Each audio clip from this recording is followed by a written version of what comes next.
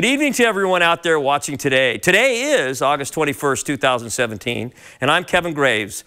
All of us here at Veterans Voices want to welcome you back to another episode, a live monthly talk show focused on elevating the voices of military vet veterans and engaging with issues they and their loved ones face in coming home. Nathan Johnson couldn't be here tonight, so we invited Kira Serna, Serna back on the show to co-host. Thank you, Kira, for being here tonight. Thanks, Kevin. Tonight we will have the honor of displaying the shadow box of Korean War veteran General Dan Helix. Thank you, General Helix, for allowing us to honor your service by having it on our set tonight. If you'd like your memorabilia featured on our show, let us know and we'll display it on our set. Tonight's episode is titled The Heart of a Youthful Spirit Growing Wiser in the Veteran Community. Our show will focus on what it means to stay young, grow wiser, and live healthy as military veterans. We will talk with veterans who have taken the afternoon of their lives by storm through finding purpose, honoring their comrades, connecting with the community, and taking advantage of benefits available to them. We will hear their stories of service and transition and gain insight into how they have cultivated resilience and appreciation for life as they age. We will also learn more about the benefits that can support us, some include VA pension, VA pension, transportation assistance, hospice, financial guidance, and CalVet veteran homes. An important part of having this conversation is including viewers' voices. We are inviting you to call or write in to the show and participate, and you can do so by phone, email, anonymous chat, or Facebook. We also broadcast our show on Facebook Live, so go to our page at Veterans Voices 1 and chat instantly with our team. Now I would like to welcome our guest, Lou Kern and Jeff Jewell. Welcome. Thank you. Hey, thanks for having us. Good evening, gentlemen. So Lou, tell us a little bit about who you are and what you and how you have dedicated your life. What is your passion? Well, right now my passion is um, becoming a, a spokesman as part of a group uh, for veterans health care. As many people probably don't know, there's a lot of money being spent, millions, um, in Washington, D.C., denigrating the veterans health care system. Literally, this is what some organizations do. And uh, there's nobody advocating for them and educating other veterans about them.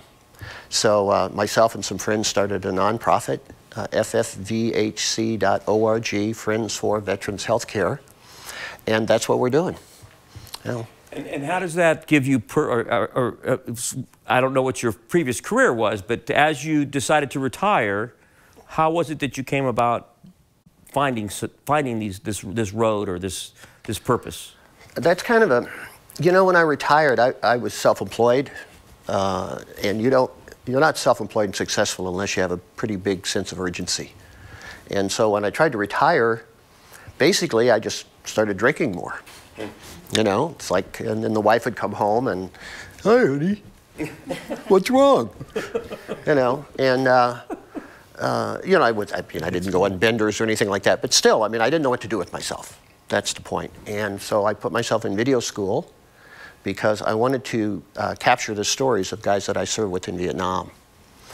Not so much for public dissemination, but for their grandkids and their great grandkids. Hey, this is who these guys were. And a lot of those stories have never been told, not just about my, my guys that I served with, but a lot of guys in, in Vietnam. And uh, as you both know, half of us or more are dead. We're gone. We moved on. What branch did you serve and when did you serve? Uh, I was in the Marine Corps mm -hmm. in um, 1966, 1967, and 1968. Yeah. Well, welcome home. Well, thanks. So, Jeff, uh, you've been a guest of ours before, but tell us a little bit about, again, about who you are and, um, and, and your interesting story. That. Well, um, I'm Jeff Jewell. I'm the director of the Concord Vet Center uh, here, and uh, we work with uh, combat veterans and their families. And um, I'm, I was here a couple of years ago, and uh, I happened to see myself afterwards uh, and how I really looked, and and uh, I had probably been the heaviest that I've been in my life. And so after that, I was inspired that I felt that I needed to, I wanted to stick around. I'm 62. I want to be here for veterans going forward, and I want to work a few more years um, before I retire like Lou did here. And, uh, and so I, uh, I lost 82 pounds. And, and as part of that inspiration, uh, when I exercise uh, three or four times a week, I always exercise for a different cause and I think I've really sort of gotten a calling. Uh, I have a, I think I have a, about a hundred or so Gold Star families who follow me online. Uh, I'm really, uh, uh I really appreciate them, and and I appreciate their sacrifice and and what the families have been through. Uh, but I also appreciate and uh, remind everyone of the sacrifice and service of these young men that have passed away and the global war on terror and and women. Um, Absolutely. You know, and so uh, you know, it's I, I feel it's a real calling for me. Uh, uh, and uh, I hope to be doing what I'm doing. I love working with combat veterans, their families, uh, where we do bereavement counseling, uh, and we also do military sexual trauma. And by the way, Kira is one of our best counselors here, um, and she and we offer services uh, in the area around Solano County uh, and in Contra Costa County um, uh, for our combat veterans and their families. How long have you been with the VA? So I've been with the VA since 2001. Okay. Uh, and uh, I started at the Oakland Vet Center. -huh. I always like to say uh, baptism by fire. Yeah. It was a, a, a, couple of years there in downtown Oakland and uh, it was really a, a, learning experience for me. I, prior to that, I was a veteran service officer in Solano County for 10 years, and I'm a former postal employee, so I know what it means when somebody says I'm going postal. Um, I understand that. Uh, I was a carrier for uh, in Pittsburg and in Fairfield wow. Uh, here in California, and of course uh, seven and a half years in the Air Force, uh, where I was crew chief on C5s. flew for I flew for a couple of years. Uh, I got 350 flying hours. That's my claim to fame.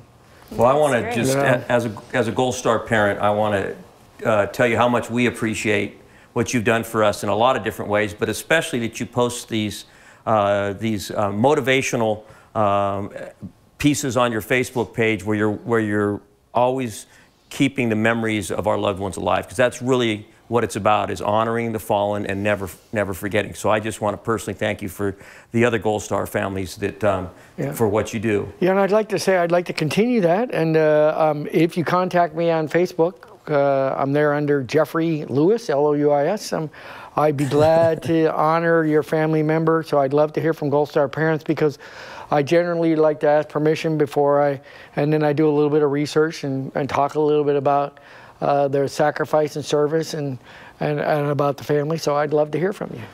Great. Yeah. And so, Lou, your work benefits veterans and um, also, I guess, us who work at the VA as well. Um, how would you say that the work that you're doing right now helps you, as you're in retirement, stay involved, um, have a sense of purpose, um, a sense of identity? How would you, what would you say that it, uh, how it benefits you? I think that somewhere I heard somebody say this, you know, we all have like epiphanies in our life, right? And, and somebody said, if you want to love something, give to it. And it just kind of struck me, you know, and I thought about that and I thought about that and I thought about that. And then it started to make perfect sense. Like there's a, there's a big part of we human beings, why, why did I go risk my life in combat? Why did I do that? You know, I didn't want to be John Wayne. You know, I didn't, I, I wasn't, that wasn't my thinking. I wanted to be part of something. I wanted to prove that I had what it took, you know. Um, but there was also the giving element, and I didn't recognize that as a younger person. You know, it just slowed. Then you have children, and then you think, "Why, boy, I put all this energy into this." You know, changing diapers, and and then high school sports, and you know, so it kind of slowly dawned on me that if you want to love something, give to it. So find something to give to, mm -hmm. and all of a sudden, you know, the the the, uh, the flowers in your garden will bloom. That's very true. Uh, Often when we give, we get so much back. Yeah. Mm-hmm. Yeah. And so, Jeff, do you? How does your um, workout routines um, and staying active? How does it benefit you? Well, it's certainly uh, uh, what I've learned is that uh, uh going forward, that I'm not going to be able to help veterans unless I take seriously in taking care of me.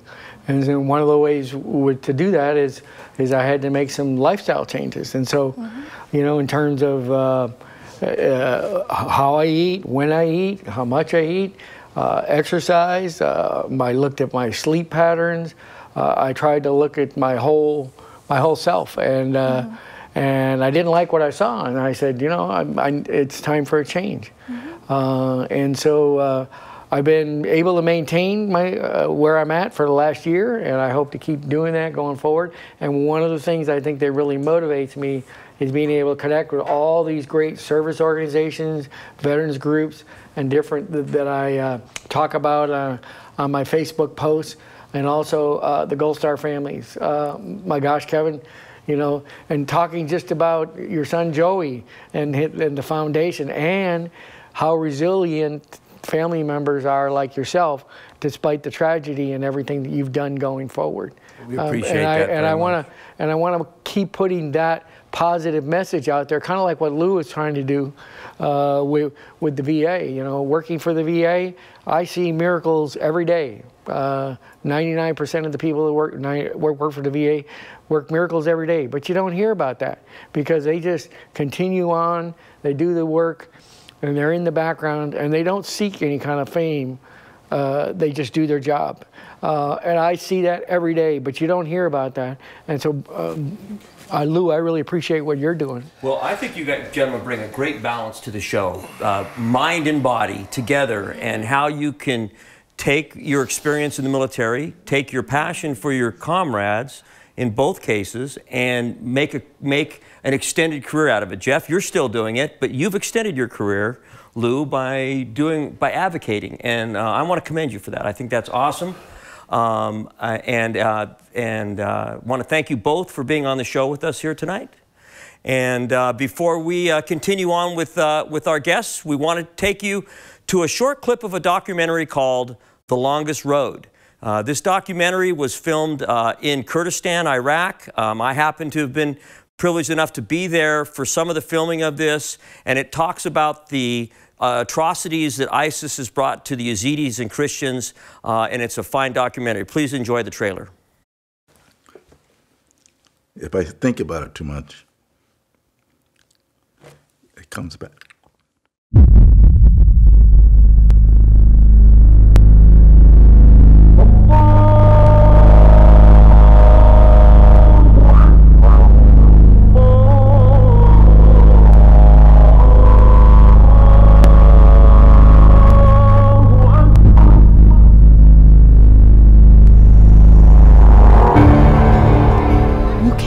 Oppress a people forever and think they're just going to lie down and take it.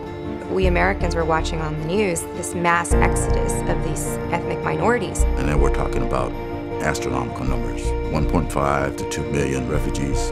Many of these people are doctors and lawyers and electricians and engineers and professional people. What is their future going to look like? I'll never forget the looks in their eyes. This one lady was saying, Don't film us if you're not going to do anything about it. We have a great many of humanitarian groups, non governmental organizations, who are trying to do the right thing. My name is Richard Campos, 63 years old. I was deployed in 2003. We were part of the invasion force. I saw on the news atrocities that ISIS was doing in Iraq. I just knew I had to go back. This gentleman travels back and forth to Kurdistan, trying to bring whatever humanitarian supplies he can. You know, Richard's been doing this. This is not his first trip. We lost almost 4,500 brave men and women. I think about that a lot. For whatever reason, we left it open-ended where it became like the Wild West. People all over the world, they just we have this sense of, all right, there's a problem, let's go fix it. This is a need, and we will regret it if we don't come to the aid of these people. We may not change their situation overnight, but if we don't start somewhere, then we'll never get anywhere. Our main purpose in life is to help others. And if you can't, don't hurt. I kind of live by that. I just try to do better.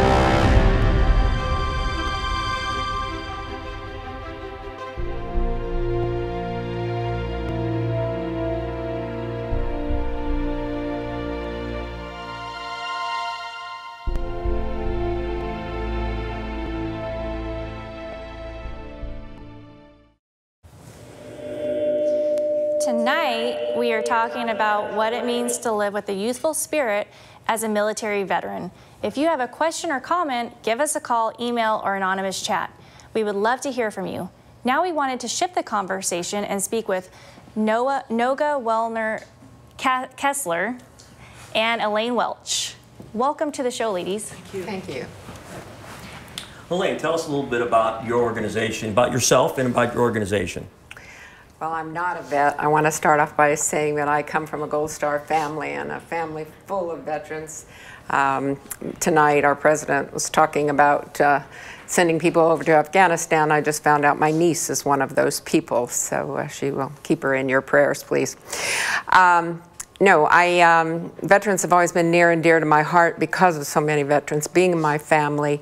And I currently run a program called, an um, organization called Mobility Matters. We're all about mobility management and keeping people mobile, particularly as they age, which we're all doing. Um, I always think of every time I go do something for an hour, regardless of the age I was when I came in here, you were, you were, we're always all going to be an hour older when we leave here. It's, it's a perpetual process, it's not stopping. And for me, uh, one of the things that I found that was most difficult for people as we age was mobility. Getting out of your home, staying engaged in the community, getting the medical care you need, uh, food, toilet paper, things we just take for granted. So about uh, in 2005, I started a program called Rides for Seniors, and I'm very happy to tell you, effective Ju June 1st of this year, we started a Rides for Veterans program, where we are recruiting veterans to drive veterans, older vets driving younger ones, younger ones driving older ones, anyone who wants to really come out and help us, including people who are not veterans, who'd like to help us get veterans where they need to go. We don't have an age requirement on it just a classification of disability or just being so elderly it's difficult for you to drive or you can't get where you need to go. So, Elaine, I can really speak to the fact of how important your organization is. When I first started interning at the Vet Center, um, I was assigned a World War II vet who lived in the East County, um, and he had uh, mobility difficulties and wasn't able to come to counseling in Concord due to that. Um, and I see a lot of my clients um, who have a hard time getting to their medical appointments, to their counseling appointments, um, because, you know, just whether it's physical mobilities or PTSD or high anxiety, whatever it may be, um, your program is a very, very important program that uh, really elimin eliminates that barrier to healthcare. And I can see some other uh, assets there also in that um, if you have veterans helping veterans, the, the, the communication starts there. The, the big, one of the big programs that we promote is, you know, vets helping vets, the mentor program. So when that, that, that can naturally occur when you get into a car. I mean, it's, it's why cab drivers know everything, right? so I, I think that's a wonderful yeah. opportunity for vets to get to know vets also. Totally. Very. And one of the things we found, we keep saying we're so much more than a ride. This is mm-hmm. about a relationship and an opportunity to have someone who's less fortunate and can't get where he or she needs to go, hook up with somebody who can. And by being a vet, if they can be a vet, I know my two brothers in Vietnam, when they start talking about their experience experiences, I almost want to back away because there's a conversation they have that is so personal and so mm -hmm. real to the two of them. And this is what we're hoping to do with our veterans to Absolutely. also bring that aspect. That camaraderie. Absolutely. That's wonderful. Noga, can you tell us a little bit about what you do? Absolutely. So, uh, 30 plus years ago, I served in the military and the Army Medical Corps. And uh, 20 or so years ago, I started uh, my social work career uh, at the Vet Center in St. Louis and also working with uh, homeless veterans in St. Louis, and then um, out here in the West in California, in San Francisco, and Oakland. And then worked um, some years in hospital social work. And four years ago, uh, I started working in hospice. And hospice was an opportunity for me, uh, more than I imagined, to really be able to have an opportunity to uh, be part of a care team caring for veterans. Um, the majority of veterans that come onto hospice have served in times of war in World War II, Korea, and Vietnam. And 96% of veterans are in the community that we serve. So it's a, value, it's a priceless opportunity to be able to care for our veterans in the community. Um, and a number of the things that, that we talked about, including mobility. Many of our veterans are housebound, they're bedbound with, with challenges. And I just want to share a little bit about what hospice is. Hospice is specialized care uh, for patients that have terminal illness. But it's much more than that. It is focusing on comfort, it's focusing on patient centered care. It's focusing on supporting the family during this time. And it's really focused on an opportunity not only for comfort and care, but an opportunity to gather family, to share stories, to, to participate at this time in the journey of our veterans' life um, in, in a way where hopefully pain and symptoms are well managed and it's Mhm. opportunity to, to uh, spend valuable time. And uh, four years ago, um, I started, I met Jeff and we were, we were talking about grief and bereavement, which is a very big subject, a very important subject in hospice, and how to work together in partnership um, in the area of grief and bereavement. And we're, we're and also mobility. Mobility, again, is, is such an important um, aspect of uh, having a sense of still being able to participate and being part of even getting to, uh, to uh, certain places that otherwise um, not able to. So working really together with other veteran organizations um, for um, supporting the veteran and the family. Great. And for our viewers, viewers out there who um, may benefit from this, can you explain how one would initiate the process if they have a loved one um, who may be eligible? Absolutely.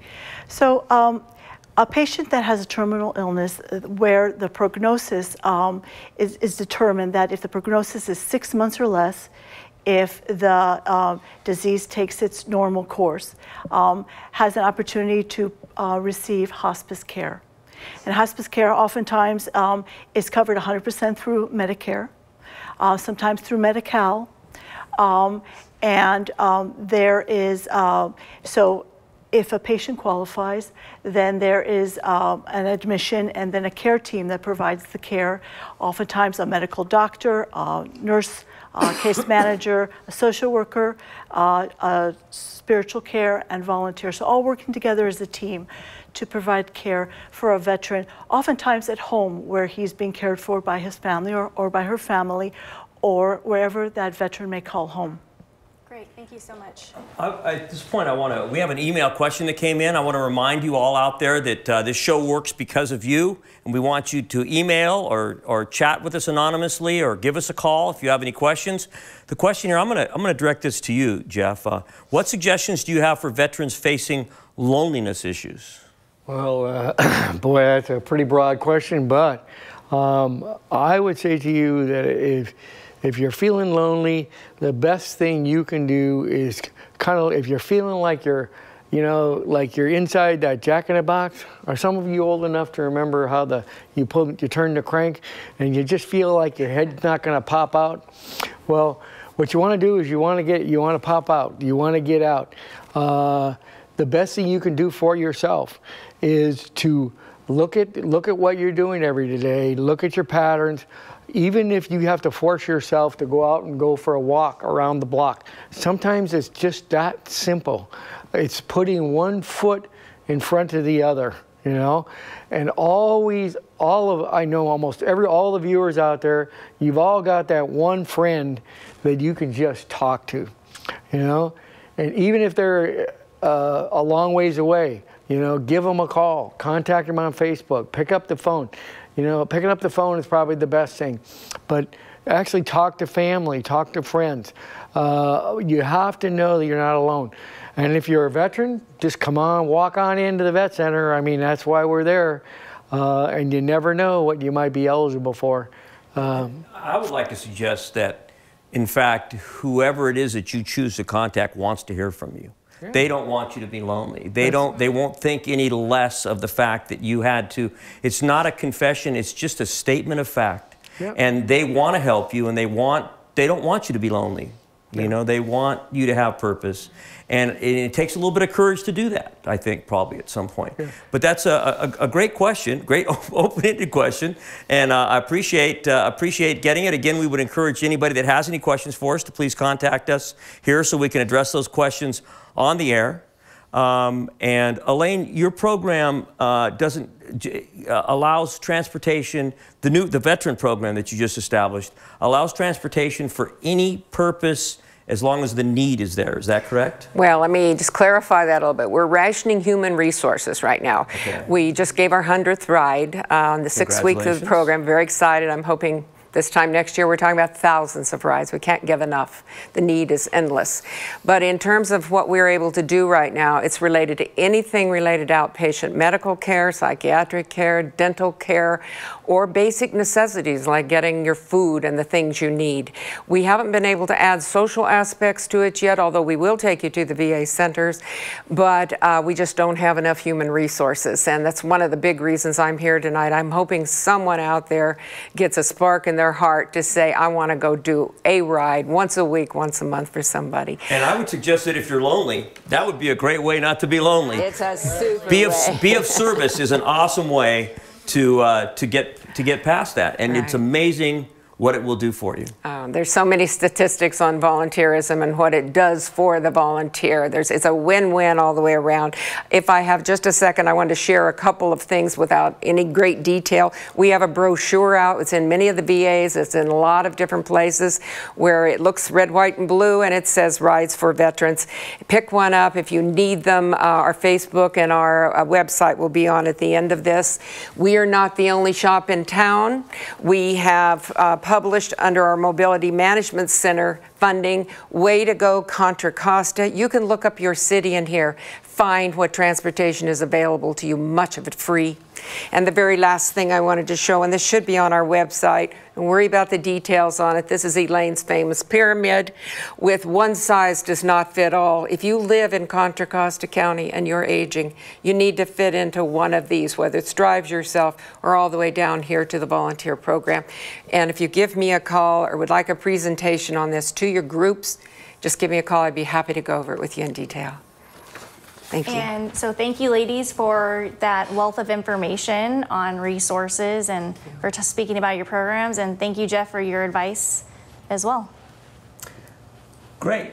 Veterans Voices is live tonight, and we're talking with our guests and you at home about aging and growing wiser as a military veteran. We're inviting you to call in and ask a question or share something about yourself related to the topic. Next up is an inf informational video on pension benefits for veterans. We will be right back.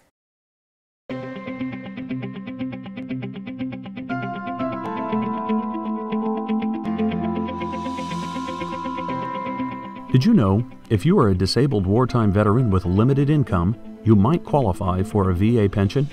Did you know monthly pension payments are tax free and can be used for anything, including housing costs, bills, and personal expenses? Did you know, even if you receive other benefits or a member of your family earns some income, you might still qualify for a VA pension if you meet the income and net worth limitations? Veterans who have served with honor and their loved ones have earned the right to live with the dignity that comes with a level of economic security. VA pension supplements the income of wartime veterans who meet minimum service requirements and age or non service connected disability requirements along with income and net worth limits set by law. Surviving spouses of wartime veterans who have not remarried and their dependent, unmarried children may also benefit. Veterans or their survivors eligible for basic VA pension may qualify for higher payments if they require the aid of another person in performing activities of daily living or are housebound. A veteran's pension averages about $11,500 annually. A survivor's pension averages about $7,500 annually. Payments vary based on income and excludable expenses, such as health care. VA pensions can provide a level of income security to those who have given so much to their nation and to their survivors. Find out if you qualify. Explore VA today.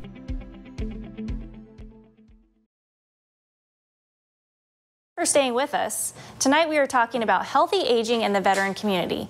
If you have a question or comment, give us a call, email, or anonymous chat. please reach out by calling in or sending us a message, even anonymously. Now we want to talk about benefits and resources that can support us in our journey later in life with Jenna Galvan Spears and Elizabeth Folgero. Thanks, ladies. Hello. Thanks for having us. Elizabeth, tell us um, about what you do and how, and some of your experience or some of your wisdom with regards to financial uh, stability. So, when you're looking at all phases of life, money is a thread that just kind of weaves with us along in our life. And so, at different points, it's good to discuss where you are financially, where you are in life, and how those two connect. A lot of times there's frustration that goes with money at the retirement time period. There's a lot of questions. There's some fear that can go with that. And my role as a financial coach to veterans is to be a free professional resource to just discuss with a veteran about their finances and their life and where they are and what's on their mind and what they'd like to do about it. It's a very special role. It's a government provided program where my job is not to tell them what to do because each person tends to know their life better than anybody else, but to just provide that place to talk with a professional about it. I have 35 years plus background in personal finance. And so, can you um, tell our viewers what your program is called? This is the Financial Coaching Initiative sponsored by the Consumer Financial Protection Bureau. It's been around for about two and a half years, and there's 40 of us nationwide who are veteran specific, and I'm the Northern California financial coach. And I was so happy because I refer to you. We yes. we all do at the Vet Center. Um, so I was so happy to hear when your program um, opened up to all veterans and not just post 9/11 because you started off just serving post 9/11 vets, Correct. right? And you know, finances don't just affect you when you're transitioning out as a post 9/11 veteran, right? There's Absolutely. financial questions that go through our entire lifetime. And so the coaching initiative is there to walk with the veteran through whatever's going on and, and retirement or transitioning to another productive mm-hmm. afternoon of life is one of those times. Can you explain to our viewers what the difference is between a financial coach and a financial planner? Yes, that's an excellent question. So, a financial planner or financial counselor is really there about collecting your data, processing your data based on their experience, and then giving you, giving you their advice for your life. The problem with that is it's their advice from their perspective. And while that professional angle is useful and the resource is useful, the coaching is specifically different, and that my job is not to give advice, but to sit with the veteran and simply discuss what do you want to talk about? I don't have a list of things they have to bring with them. I don't have a list of documents I need to see. The veterans know their circumstances. I'm there to talk it through with them, and there's very few people you can talk to about your finances, especially where it's safe and they're not selling something, and that's another reason this program is so unique. I see veterans in person at various locations in Northern California, and also about 70% of my sessions are by phone because a lot of my veterans can't get to me mm -hmm. for financial reasons or time. Before we get to Jenna, we have a specific question that would be for you here. It's I am over 60 and have all of my IRA funds in stocks. Is this safe? So we just uh, talked about, it's a great question, very fair question, and it's a reason that you want to talk to a financial coach. Every single person is different. That is a wide open question.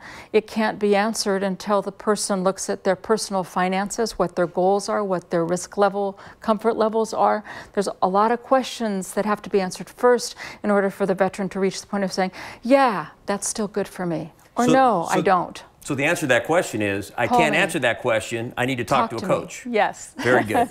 yeah. Jenna, you work directly downstairs here for the County Veteran Service Office, and um, you've been doing that for quite a while. Um, tell us a little bit about some of the benefits that you refer some of your senior veterans to that are offered uh, through the VA or through other resources that you have downstairs? Okay. Well, the primary one that everyone hears about is called aid and attendance or referred to as aid and attendance. That's actually the non-service connected pension program. To be eligible for that program, you have to have served at least one day during a period of wartime, um, be over six, the age of 65 or considered permanent and totally disabled, um, and that is a, me, uh, a needs-based benefit. So it is based on financials, um, less than $80,000 in net assets, and there are some annual uh, financials that you would have to be less than. The reason why that program, a lot of families will come in to learn about that program, and I want to just give a plug to county veteran service offices at this point um, because it is a very complicated benefit and it's super helpful to have a representative sitting down with you, kind of walking you through the process, making sure all the forms are done correctly, and just explaining it to you because it can get overwhelming. So one question that I often get from my clients is, um, can you collect from a VA pension and VA disability compensation at the same time? No, you cannot. Um, you will get the higher of the two benefits. So you cannot get both VA benefits. The VA will automatically award you the higher of the two. Okay. So whichever will be more profitable for, or not profitable, but. And, and I need to give a shout out to the county veteran service offices too, because CalVet relies heavily upon uh, upon our county veteran service offices. Uh, the, every county in the state of California is mandated to have one by legislation, and they kind of become the boots on the ground for the state to be able to make sure that veterans are being served. One of the benefits that we offer through the state, though, is our veteran homes. Uh, we have eight of them statewide. Our flagship is in Yountville. Many of you have, that have driven up the wine trail have seen that big, beautiful white building on the side of the hill in Yountville. That was built during the Civil War. And um, it's our flagship. We have about a thousand veterans that are there and that are being served. The only prerequisite to get into a veteran home in the state of California is that you are a veteran living in the state of California. Um, now, there's, uh, there's no financial responsibilities, but you give up some of your financial, a portion of your finances once you go into the home. Um, and it's a complicated, and this is where my shout out goes, it's a complicated application process. We have reduced it from 12 pages to seven pages, but it still needs to be, you have, need to be coached to work through it and, and understand the program. And we have immediate availability within the, uh, the CalVet home program uh, for domiciliary, especially for domiciliary. The key here is, and I would say this to the families, the key is get your loved one, get your parent, get your husband or wife or whatever into the veteran home while they're still domiciliary. Even though they don't feel like they want to leave their home, if they are going to, if there's a pattern of degrading health, if they can get in on their own and go and sign up and walk in, they were, are there for their entire life through SNF, through skilled nursing facilities, all the way through Alzheimer's. That's why it's difficult to get into those programs because people move up through, through into the different levels of care. And so if you can enter at the right time, um, when you can still get into them, it's, it's, it's an awesome benefit that the state of California offers. But again, see your county veteran service office when it comes to doing it. But it, if it, you're talking about a difference of maybe $8,000 a month to put somebody into Alzheimer's care, and in this case, it's basically free. It's a portion of your income. So it's an important benefit that as we age that we know is there uh, for the veteran community. And we as CalVet are very proud of that program. It's a big part of the budget, and we thank the legislature for making that possible. Yes, that's a wonderful benefit. And I just want to say Jenna is wonderful too. I refer tons of people to her and always get thanks. great feedback from them. Oh, thanks. Can I just say one other thing? Um, sure. One of the things that our office also does is we do work really closely with the clinic, with the social workers that work over at the VA clinic. So in the event that a family doesn't understand anything, we can team up with the social worker to ensure that all of the bases are covered. So Great. Um, Lou, I have a question for you. Um, uh, as we're talking about aging and retirement and transitioning and you know that other that other chapter in life, um, would you say that your military service benefited you right now as you're going through retirement? Oh yes, absolutely. Um, I think I was probably pretty typical. I didn't really know what I wanted to do when I got out of high school. You know, I went to college, but I didn't apply myself. You know, mm -hmm. that sort of thing. And uh, uh, looking back on it now, the, uh, uh, the Marine Corps was the best thing that ever happened for me. You know, it was very disciplined, it was very difficult, but it gave you a whole sense of pride. No, I can do this. No, I can do this. And I, I find that carries, you know, with me uh, throughout my life. Um, in in uh, Vietnam, I, I, what I did in the Marine Corps is called Force Reconnaissance. In the Navy, it's called SEALs. -hmm. In the Air Force, it's called search and rescue. Uh, just an extensive amount of training. And then when you're at work, you're seven or eight or 20 miles into enemy territory. And you really have to be disciplined. And it, you have to, the, the voice in your head can't run your life. You know, you have to understand that that narrative, you know, when, when, when I was a kid, it was always about the devils on one side and, you know, mm -hmm. guardian angels on the other. But there's this voice in your head, and when you're in a dangerous situation, and it doesn't have to be behind enemy lines, I mean, it could be any life-threatening situation, boy, that voice gets loud. And you know what? It's not you.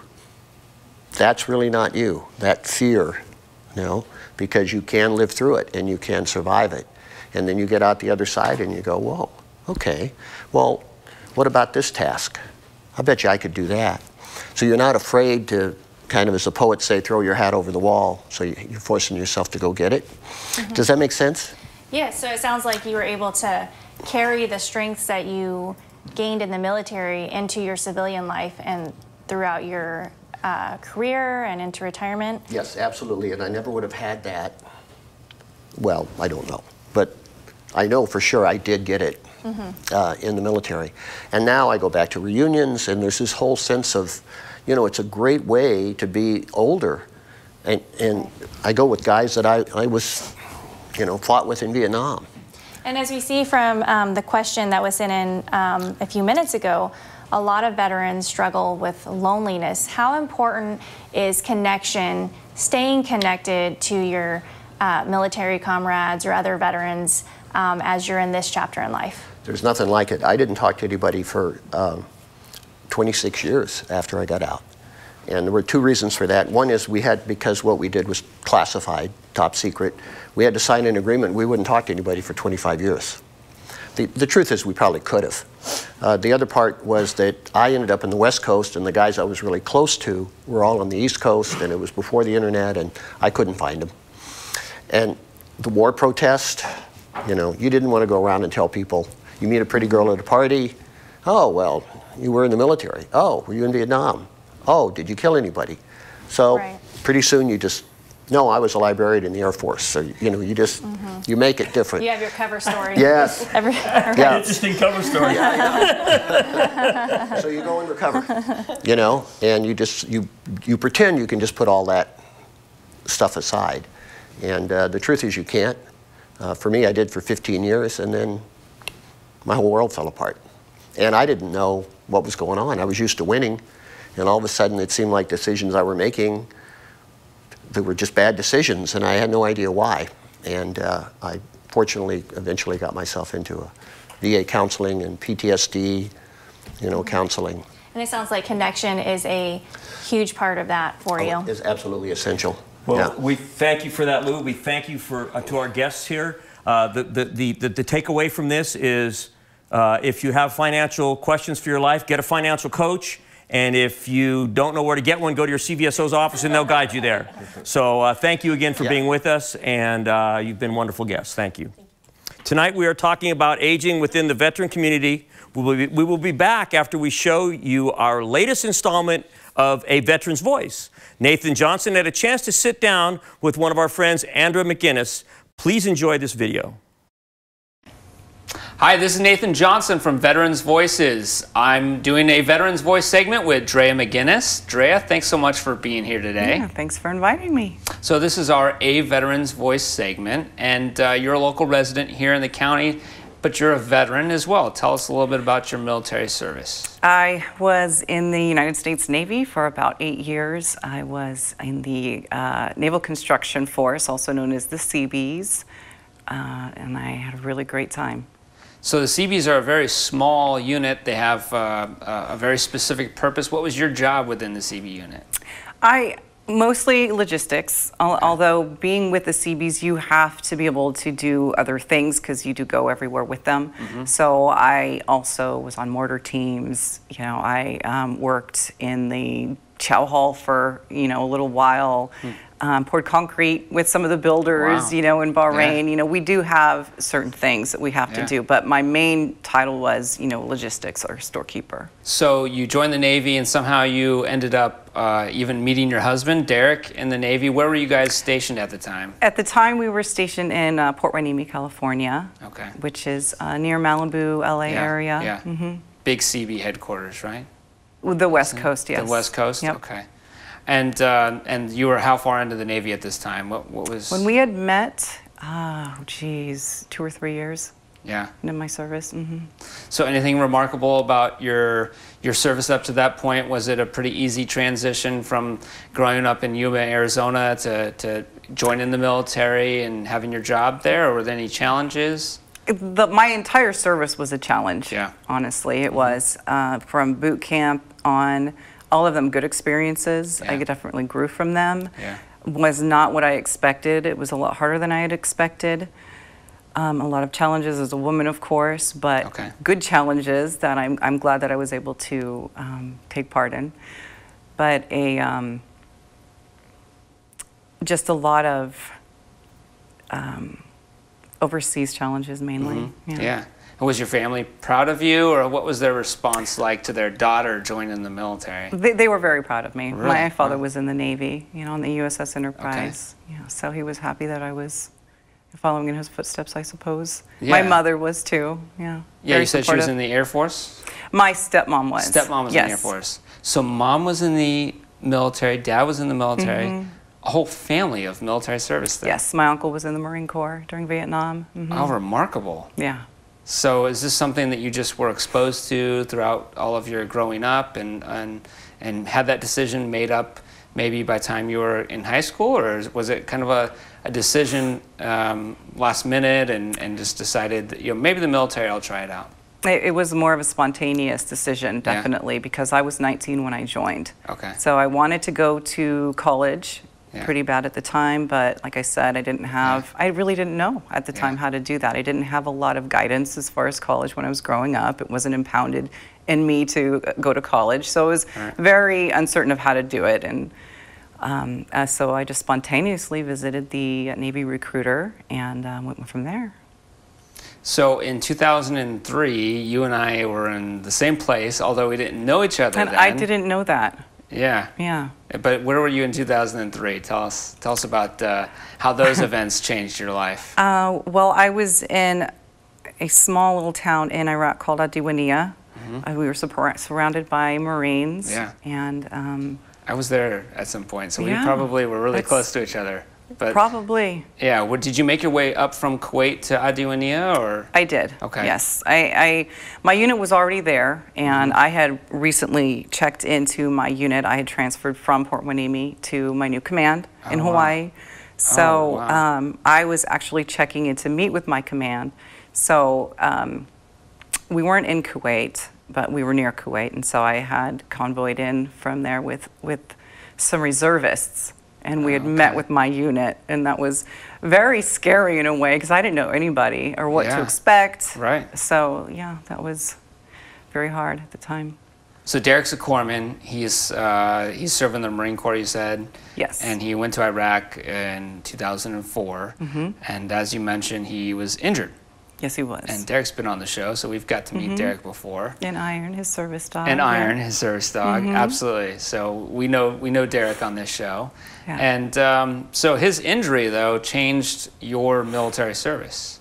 How did how did it change it? It, it did. I mean, I was pregnant with our first, our oldest, and I had to basically travel and be by his bedside. It was a very long recovery, and I had the most supportive command at the time. There were no issues with that at all.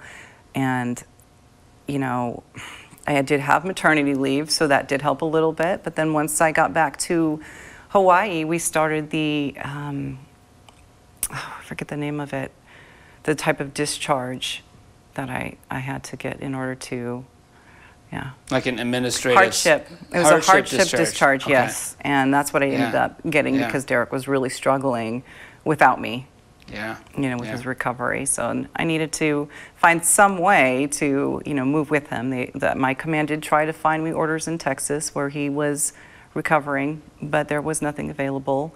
So they offered me a hardship discharge. Wow. Mm -hmm. So you survived your new husband being severely injured. I did. You survived an abrupt end to your career in the military. Mhm. And soon after a couple months, your son was born. You must be pretty strong to go through all that. What do you think kept you together and allowed you to continue to endure? You know, that's that's a good question because you know, I was surrounded by a lot of severely wounded Marines at the time. Mm-hmm. And I saw a lot of different characters and personalities and injuries and all of the different struggles. Mm-hmm. And Derek is a very strong person. Mhm. He has, um, you know, this will to move on more than anybody I've ever met before. And because of that, it made going through this so much easier. If it Hmm. had been the other way around, Wow. it would have really made a difference. To, to go through that, you must have done Yeah. something. Something must exist within. Well, I think when you're faced with that kind of tragedy, Yeah. you just you have to move on. There's Yeah. there's this part of you that comes out, you Okay. know, just you've got to do what you've got to do. It's, He's my family. Yeah. You know, he's You're loyal to him. he- oh, absolutely. Yeah. And he's loyal to me. Yeah. So you could have just walked away. You you were just married to him just, just- a few months prior to that, and Yeah. you could have just walked away, but you stuck by him. Absolutely, yeah. There's that's just not an option, and we did Yeah. see a lot of that while we were there, Mm. unfortunately. So Wow. no, Remarkable. His, his family was there. Uh, I had a lot of support, and I think that was a large part of his recovery as well. So how do you see your military service today? Because I have to I have to admit to the audience that uh, you know I knew you for a couple of years and. Mhm. I- I didn't even realize that you served in the military. I didn't even realize you had gone to Iraq. It was. I remember the day I kind of figured it all out. Like you Mhm. got to be kidding me. So, um, do you do you not talk a lot about your service? Do you not tell a lot of people about it, or was I just a little slow to learn? Or you know, who is Drea in a sense of a veteran today? You know, I don't talk about it a lot. Um, it's not that Derek stole the show or anything like Mhm. that, but um, you know, it is hard to talk about my service when I have a husband who was severely wounded in Iraq. You know, Mhm. it's it's Yeah. the the conversation immediately goes to him, which is it should. Um, but at the same time, he's always validated my service, mm-hmm. and I appreciate that. You know, mm-hmm. he's never, ever just stepped up and said, "Oh, it's all about me." He's a very humble man. He's always said, "Oh, but my wife, she's also a veteran." He's always made that a priority to. He's proud of you, I would imagine. Yeah. Well, we've had your shadow box on our show before, which is fantastic. We Mhm. we honor your military service. Thank you for being a wonderful mommy to your boys, and uh, I hope that after Brandman University, uh, after you complete your program there, I hope you celebrate a lot for yourself. Thank you. We'll be back with more Veterans Voices.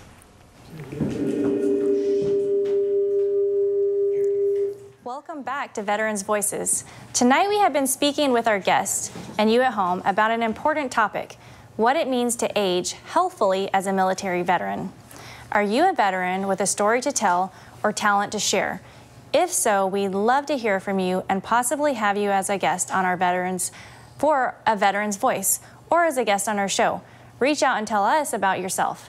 Another way to contribute is through our viewer advisory panel. This panel provides critical, qualitative feedback to our show that we take seriously and read prior to planning each episode. Your voice truly matters. Please help us learn how to serve you better. Sign up on our homepage and you'll be sent a short survey after every show.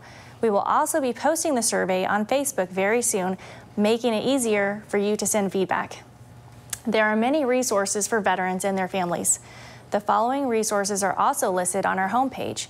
Mobility Matters offers free one on one rides provided by screened and trained volunteer drivers, many of whom are veterans.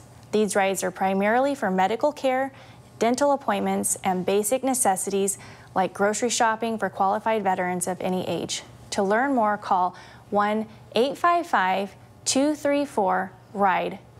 East Bay Hospice provides compassionate end of life care to terminally ill patients while offering emotional, spiritual, and grief support for the entire family.